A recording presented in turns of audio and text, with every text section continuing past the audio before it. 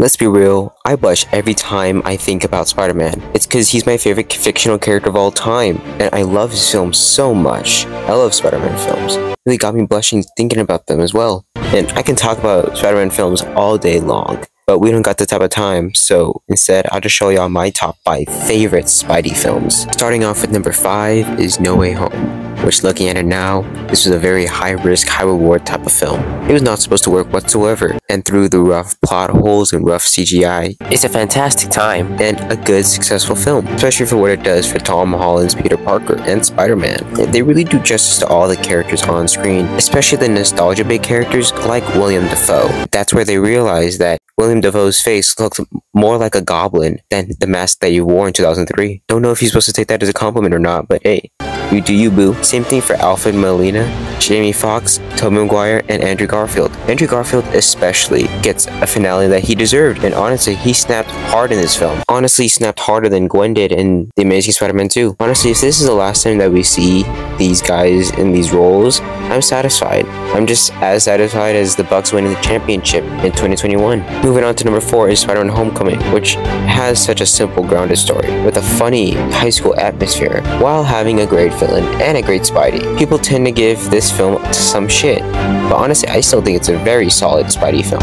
It really reminds me of Jimmy Butler, because as a Hooper, he isn't the flashiest guy out there, but he gets the job done fantastically. But most importantly, Jimmy Butler is comedy gold during Media Day. Moving on to number three is Spider-Man Into the Spider-Verse, which is still such a beautiful, visually spectacular, and charming film, while being brutal at times. It honestly reminds me of uh, Ana de in Blade Runner 2099, because she's drop dead gorgeous. Oh my gosh, she's so gorgeous. A top tier baddie for sure, but while being super duper charming.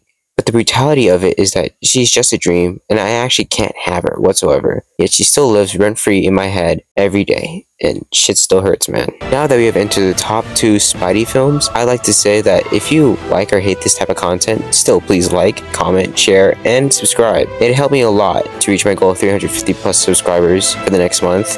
It honestly make me giddy, not like Josh Giddey, if y'all join me on this YouTube journey. Anyways, moving on to my number two Spidey film. It's Spider-Man Across the Spider-Verse, an even more visually spectacular and mature film than Into the Spider-Verse, while keeping the same exact charm and just so awesome, looks beautiful. It honestly reminds me of that baddie where you don't know how she can get even hotter, but she still does. Like how, Sydney Sweeney? How is it even possible? She's so pretty and she has a great personality, man. That's insane, man.